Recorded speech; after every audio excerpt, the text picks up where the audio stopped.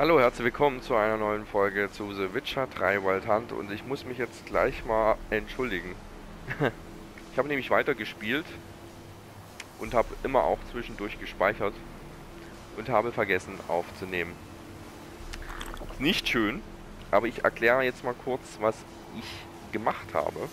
Wir waren zuletzt im letzten Video, haben wir natürlich einen Eingang gesucht dort im Gebäude und die Lösung war ganz einfach.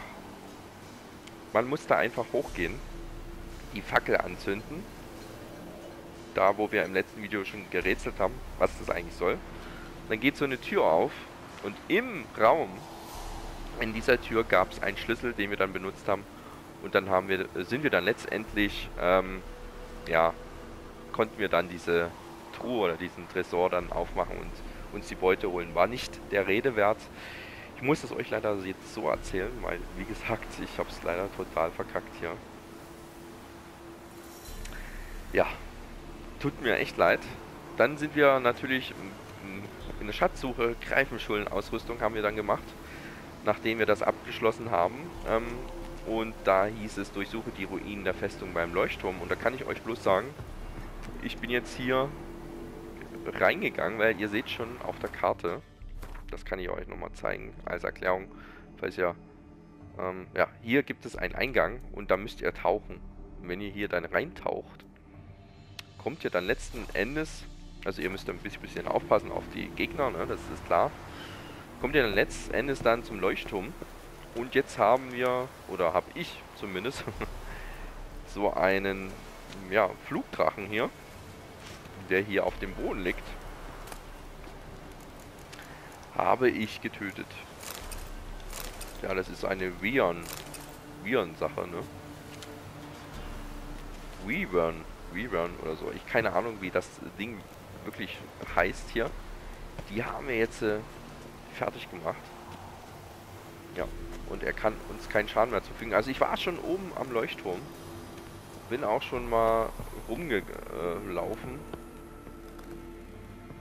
Aber so viel gibt es hier nicht am Leuchtturm. Ich habe es schon bemerkt. Ich kann euch leider wirklich nur, also mir tut es echt mega leid. Ich kann euch leider wirklich nur diesen, diesen kleinen Einblick jetzt geben.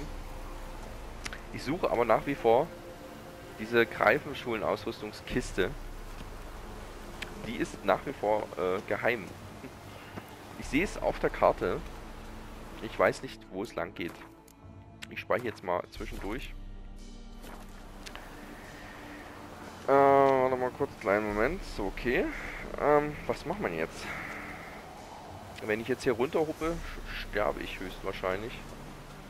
Das kann man ausmachen, das kann man anmachen. Da verändert sich nichts. Wo zum Teufel ist die Greifenschulen-Ausrüstung? Können mal hoch zum Leuchtturm gehen, aber ihr seht das schon anhand der Karte. Ist das ein ganz anderer Fleck. Also hier bin ich hochgegangen, nachdem ich getaucht habe, durch die Höhle.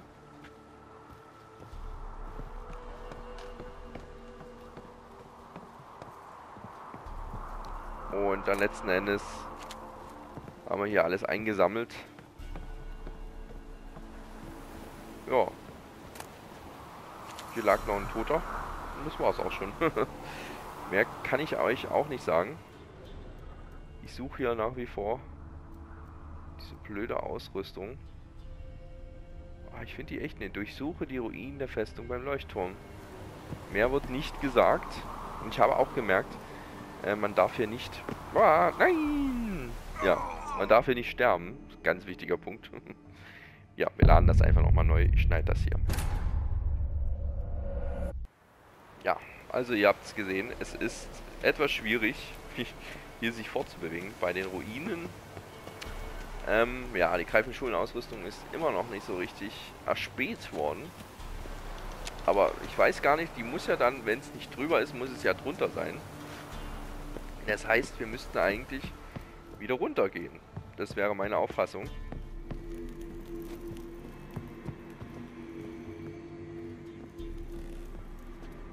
Könnte denn die sein? Vielleicht liegt sie doch ganz unten. Und ich habe sie aus Versehen beim Höhletauchen nicht gesehen. Aber wir haben schon auf jeden Fall einiges an Ausrüstung erhalten. Ach Quatsch. Jetzt tue ich ja mit der Armbrust hier rumspielen. Das wollte ich nicht.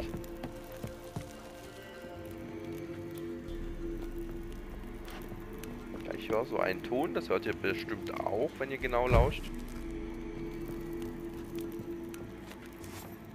Wir gehen einfach mal wieder runter. Vielleicht war die Greifenschulenausrüstung schon quasi zu sehen. Nee, geht nicht. Das ist ja echt merkwürdig. Weil, wir, ihr könnt ja sehen, ähm, das ist dann echt, also das ist echt merkwürdig hier. Ihr könnt auf jeden Fall sehen, dass ähm, die Höhle anders geformt ist, als wie man hier zum Schatz kommt. Also irgendwas ist ja merkwürdig. Wissen, ob es hier vielleicht einen Trick gibt, wie man hier rankommt. Ich höre auf jeden Fall irgendwas leuchten. Oder irgendwas machen hier. Vielleicht müssen wir auch hier irgendwelche Fackeln anzünden.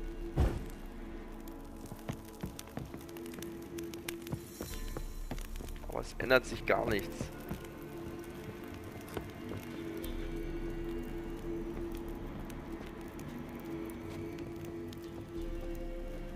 Hm. Auf jeden Fall sehr merkwürdig. Es muss auf jeden Fall doch irgendwie außerhalb dieses, dieses äh, Gebäudekomplex sein hier, wo wir jetzt gerade drin sind.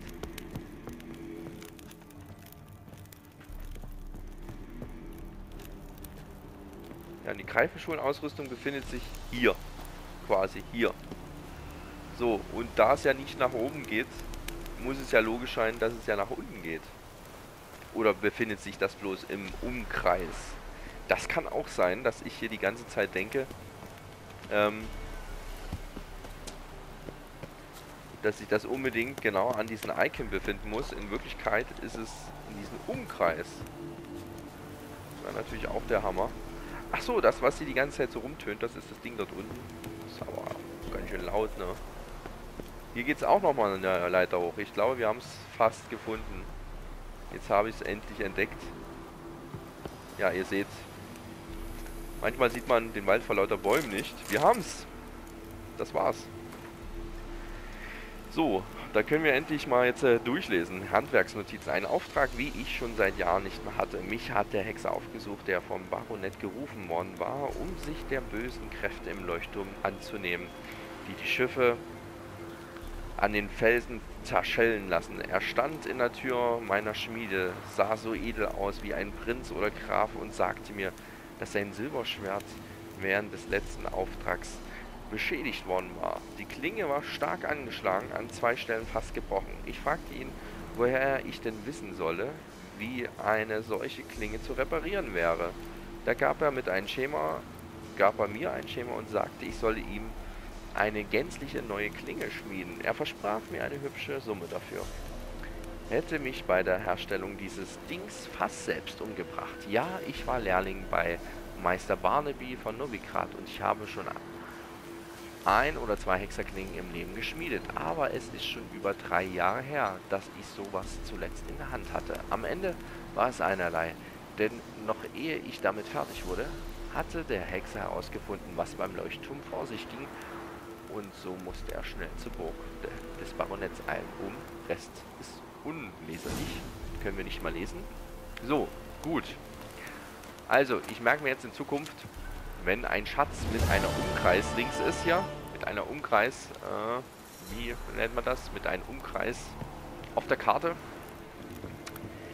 dann weiß ich, okay, wir müssen äh, vielleicht ein bisschen suchen. Das wird gleich nicht angesprungen kommen.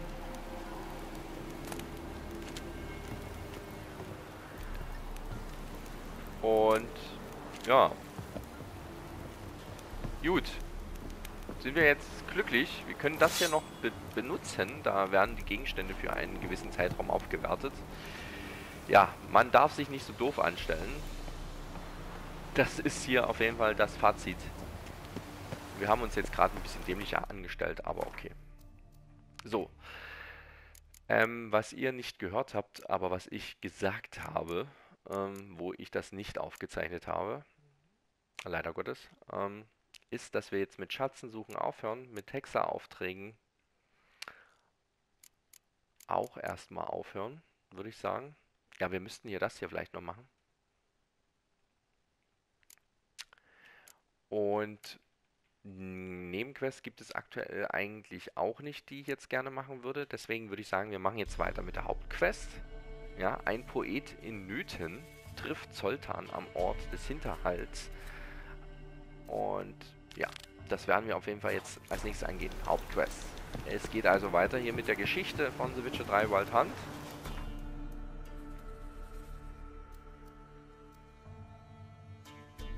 Und ja, werde ich... Ah, ihr seht, das ist mitten in der Pampa. Beziehungsweise in der Nähe von den sieben Katzen. Da werde ich jetzt auch mich hinbegeben. Ja, so, so viel zum Thema Greifenschulenausrüstung. Die haben wir jetzt also komplett. Könnte man jetzt beim Schmied anfertigen. Bin mir nicht sicher, ob das was bringt.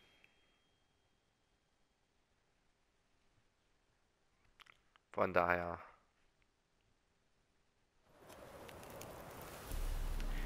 Gut, wir sind jetzt wieder hier.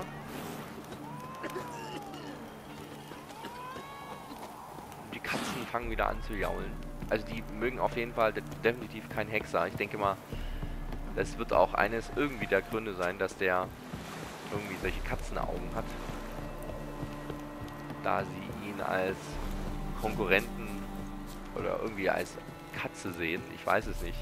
Ich kann es mir bloß so vorstellen. ich reibe mir meine Story hier alleine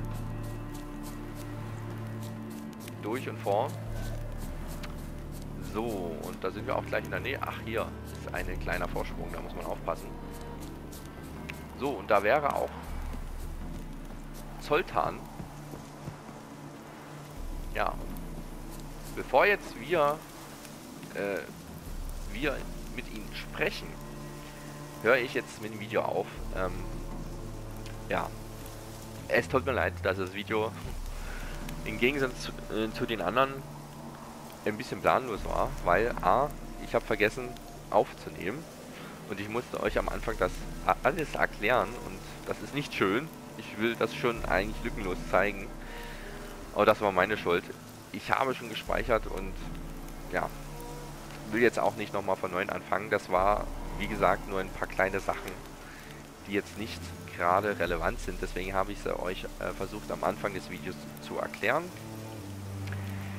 Ja, und dann sind wir halt, wie gesagt, dann zum Turm hingemacht und ja, da haben wir auch ein bisschen gesucht, bis wir die Greifenschulenausrüstung bekommen haben. Aber jetzt geht's wieder straight forward. Jetzt geht's wieder ja, streng weiter zur nächsten Hauptquest. Und ich hoffe, ihr seid auch dabei. Dann wird es auch wieder lustiger und wieder auch ein bisschen spannender.